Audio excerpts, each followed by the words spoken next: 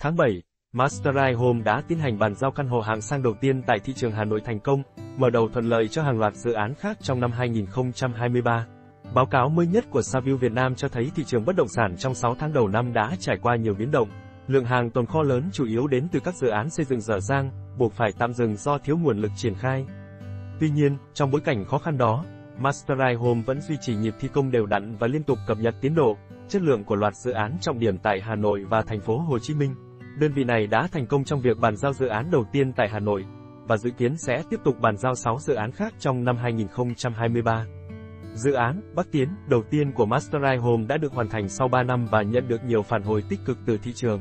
Đây là thành quả của việc hợp tác với Marriott International, tập đoàn khách sạn lớn nhất thế giới để phát triển phân khúc branded residences chưa từng có tại Việt Nam. Tòa tháp đầu tiên của dự án đang vào giai đoạn hoàn thiện cuối cùng và dự kiến sẽ bắt đầu bàn giao trong quý 3. Các căn hộ tại tòa Lake thuộc dự án Grand Mariner Sài Gòn tại quận 1, thành phố Hồ Chí Minh, gắn với thương hiệu Marriott, nên tất cả mọi bước trong quá trình phát triển và sau khi đi vào vận hành đều được can thiệp, giám sát bởi chuyên gia Marriott International. Bà Penny Trịnh, giám đốc phát triển cấp cao, khu vực châu Á Thái Bình Dương của Marriott International đã chia sẻ về quy trình kiểm duyệt chất lượng nghiêm ngặt của họ. Trong tháng 7, Masterai Home đã tiến hành bàn giao căn hộ hạng sang đầu tiên tại thị trường Hà Nội thành công, đánh dấu một bước khởi đầu thuận lợi cho hàng loạt dự án đáng chú ý trong năm 2023. Với cam kết mang đến những sản phẩm tốt nhất cho khách hàng, Masterai Home đã tận tâm hợp tác với nhiều đối tác hàng đầu để đảm bảo chất lượng dự án và tiêu chuẩn cao của thương hiệu. Theo báo cáo mới nhất từ Saville Việt Nam, thị trường bất động sản đã ghi nhận những nốt trầm rõ rệt trong 6 tháng đầu năm.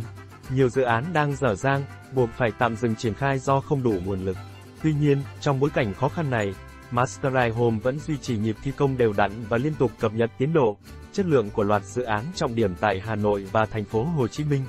Điều này thể hiện sự kiên định và tận tâm của công ty đối với việc đem lại những sản phẩm chất lượng và đáng tin cậy cho khách hàng. Dự án đầu tiên mang tên Bắc Tiến đã được Masterai Home bàn giao thành công sau 3 năm thi công. Dự án này nhận được nhiều phản hồi tích cực từ thị trường và chứng tỏ sự đáng tin cậy của Masterai Home trong việc triển khai các dự án bất động sản. Kế tiếp là dự án Branded Residences, một dự án độc đáo do Masterai Home hợp tác cùng tập đoàn khách sạn hàng đầu thế giới Marriott International. Dự án này đang vào giai đoạn hoàn thiện cuối cùng và dự kiến bàn giao trong quý 3. Tại khu đô thị Grand Park, Masterai Home có hai dự án đáng chú ý, đó là Mastery Center Point và Lumiere Boulevard. Mastery Center Point với 5 tòa tháp đã hoàn thiện mặt ngoài và bên trong căn hộ đang được hoàn thiện theo tiêu chuẩn quốc tế. Trong khi đó, và tháp Lumiere Boulevard đạt hơn 80% tiến độ hoàn thành cả về mặt ngoài và trong phần thô của căn hộ. Các dự án này dự kiến sẽ được bàn giao cuối năm nay.